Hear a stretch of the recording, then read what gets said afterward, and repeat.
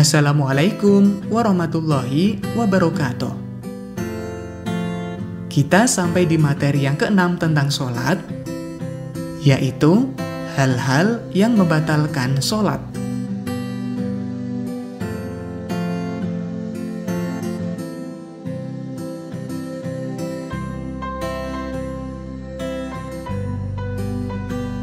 Sholat akan batal jika salah satu syarat atau rukun tidak dilaksanakan, atau terjadinya beberapa hal tertentu.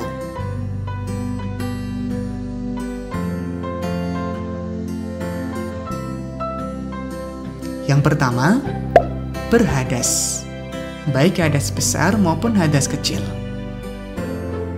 Kedua, terkena najis yang tidak dimaafkan. Ketiga, terbuka aurat. Keempat, berubah niat sholat. Kelima, membelakangi kiblat.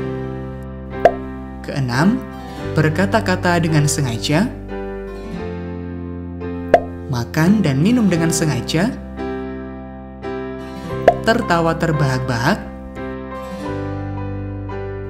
murtad atau keluar dari Islam, bergerak tiga kali berturut-turut, menambah rukun fi'liyah, dan mendahului imam dengan dua rukun. Demikian materi tentang hal-hal yang membatalkan sholat. Di pertemuan berikutnya, kita akan belajar tentang mengenal gerakan sholat. Wassalamualaikum warahmatullahi wabarakatuh.